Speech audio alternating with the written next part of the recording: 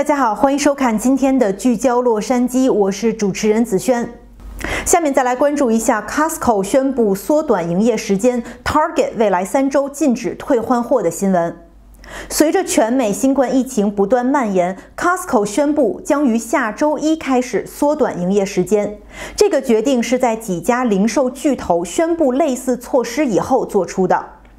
这家仓储会员制超市巨头紧跟 Walmart 和 Target 一些竞争对手的步伐，宣布将从三月三十日开始缩短各美国门店的营业时间。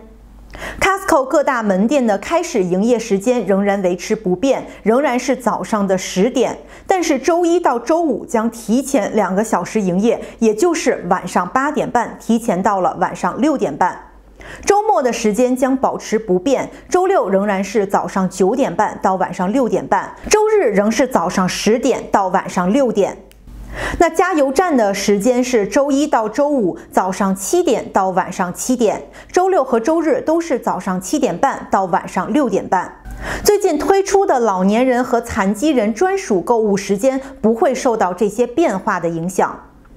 而零售巨头 Target 也在官网宣布，受到新冠疫情的影响，在接下来的三周内禁止退换任何商品。